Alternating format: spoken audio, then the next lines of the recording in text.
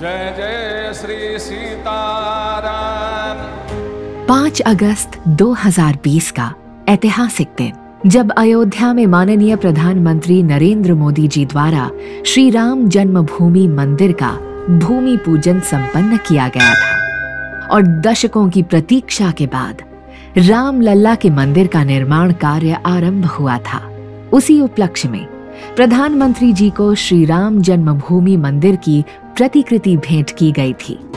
राम मंदिर के इस पावन प्रतिरूप को 17 सितंबर से 7 अक्टूबर के बीच pmmementos.gov.in पर ई ऑक्शन के द्वारा प्राप्त कर सकते हैं। ई ऑक्शन की पूरी राशि गंगा को अविरल और निर्मल करने के अभियान नमामि गंगे कोष में जमा की जाती है।